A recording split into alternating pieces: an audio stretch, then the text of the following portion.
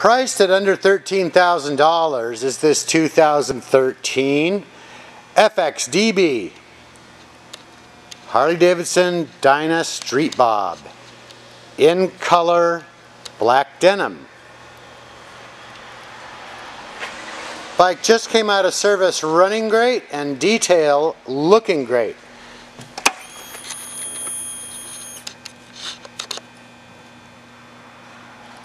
Right under 10,500 miles and while we've got the ignition lit up, let's listen to it.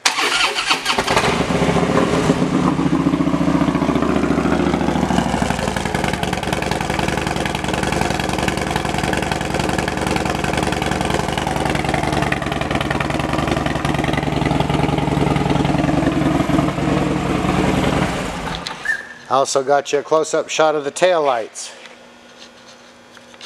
definitely aftermarket definitely looking cool. Also has a Suter Jax Teller windscreen on the front. If you don't know who Jax Teller is ask one of your friends who watches too much television.